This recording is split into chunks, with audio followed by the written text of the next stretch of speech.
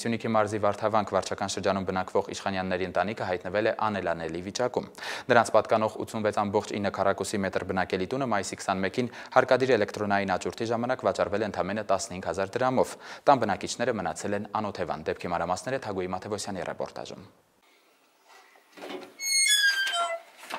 Սոցիալապես անապահով իշխանյանները իրենց տունը տակասնում էին վառարանով։ Վառելափայտն էլ հայթայթում էին հարակից անտառներից։ 2012 թվականին մի քանի անգամ անտառապետի կողմից տուգանվել են, չեն կարողացել վճարել պարտքը եւ հայտնվել են դատարանում։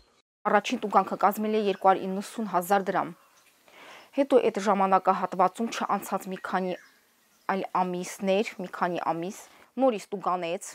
եւ այդ պարտքը այսօր եղավ նրա համար շատ ճակատագրական, ոչ թե նրա համար, հենց բոլորիս համար։ Պետական պարտքը ընդհանուր առմամբ կազմում է ավելի քան 1 միլիոն դրամ։ Համաձայն հրապարակային սակարկությունների մասին Հայաստանի Հանրապետության օրենքով սահմանված կարգի, բնակելի տուն աճուրդի են ներկայացվել 502.500 դրամ մեկնարկային գնով։ Համաձայն ապրանքագիտական փորձաքննության արդյունքների, բնակելի տան արժեքը կազմել է 670.000 դրամ։ 2016 թվականի սեպտեմբերի 19-ին հարկադիր կատարողը որոշում է կայացել իշխանյանների բնակելի տունը հարկադիր էլեկտրոնային աճուրդով իրացնելու մասին եւ աճուրդի սկիզբ է նշանակել 2016 թվականի հոկտեմբերի 10-ը։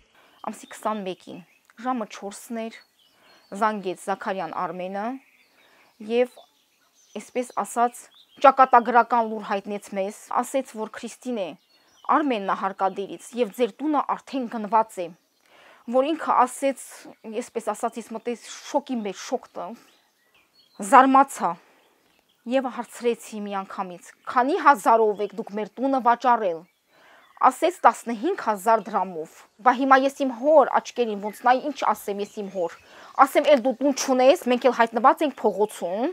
Մեր հարցին, թե ինչ նպատակ ուներ գույքը աճուրդով վաճառելը, եթե պետական պարտքը ըստ էության չի մարվելու, Հարկադիր կատարումն ապահովող ծառայությունը որևէ պատասխան չտվեց։ Իսկ այն հարցին, թե այս պարագայում եթե բնակիչը ցանկանում է վերադարձնել իր գույքը ինչ քայլերի պետք է դիմի, պատասխանեցին։ Այն դուրս է ծառայության իրավասության շրջանակից։